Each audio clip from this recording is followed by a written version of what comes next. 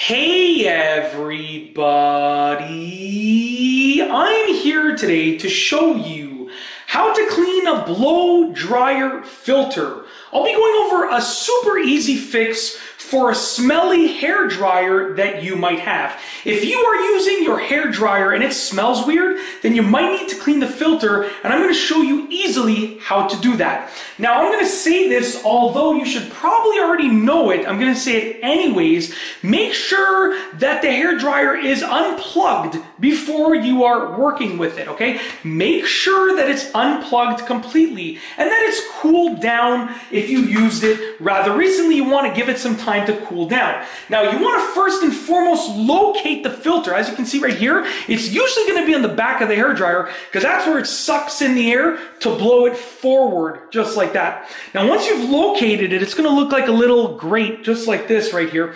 Once you've located it, what you want to do is you want to twist it in one way or another, and then it will likely allow you to pop it off. So, you know, in this case, I thought that I would have to twist this counterclockwise to unscrew it, but in reality, I have to twist it clockwise, I believe. And I twist it clockwise, just a little bit of a turn, and then it pops off, okay? Now, we have two parts to clean. The first part is this removable part right here. Now, for this part over here, what you want to do um, is you can, you can use a vacuum and vacuum it up. Um, I almost dropped it there. But for this part, since it's removable, what I like to do is I like to just wash it underwater. So I'm going to turn the water on, and I'm just going to rinse it and use my fingers to remove any lint from it, just like that, any dust, just like that, okay? Now that I've rinsed it off and it's nice and clean, I'm gonna dry it and I'm gonna leave it to the side to dry. Now, obviously, do not put this back on the hair dryer and do not use the hair dryer until this is completely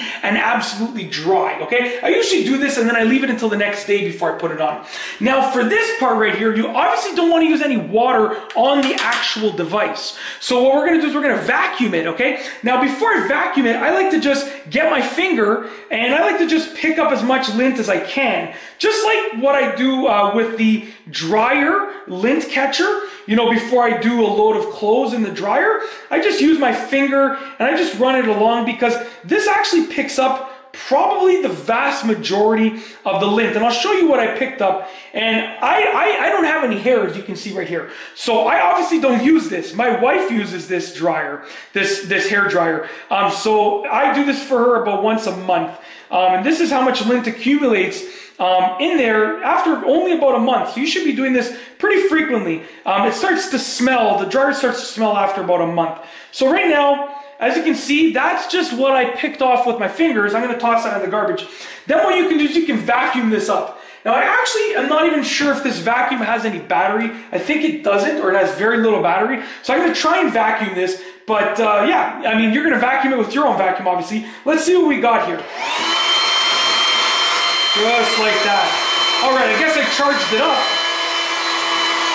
Nope, the battery just died. Okay, so let's turn it off now. Um, that's what you have to do. Obviously, like I said, you're going to vacuum this thoroughly with your own vacuum, which I will do after off camera. I don't want to waste your time watching me go get the vacuum, the other vacuum right now. Um, but you're going to vacuum this till you get all the lint out. You're going to wait until this completely, whoop, completely and fully dries. Okay, like I said, I usually just leave it overnight, then I do it the next morning.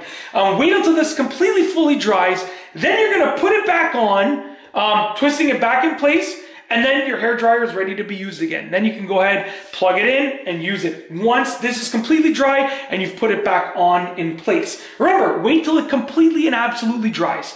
And that's it. If you like this video, please be sure to give it a thumbs up. Let me know what you think down below as a comment. And of course, be sure to subscribe for more great videos just like this one.